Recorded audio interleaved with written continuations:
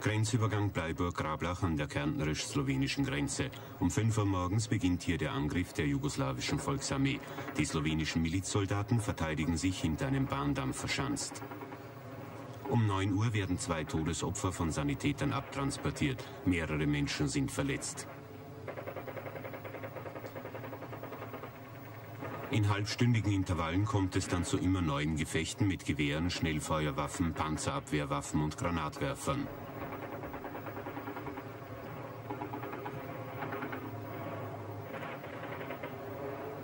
Infolge dieses Gefechts wurde das Zollamtsgebäude mehrfach getroffen und brannte bis 11 Uhr völlig aus.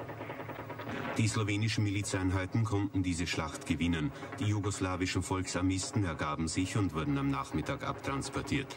Insgesamt forderten hier die Kämpfe mindestens sechs Menschenleben, neun Schwerverletzte und zahlreiche Leichtverletzte.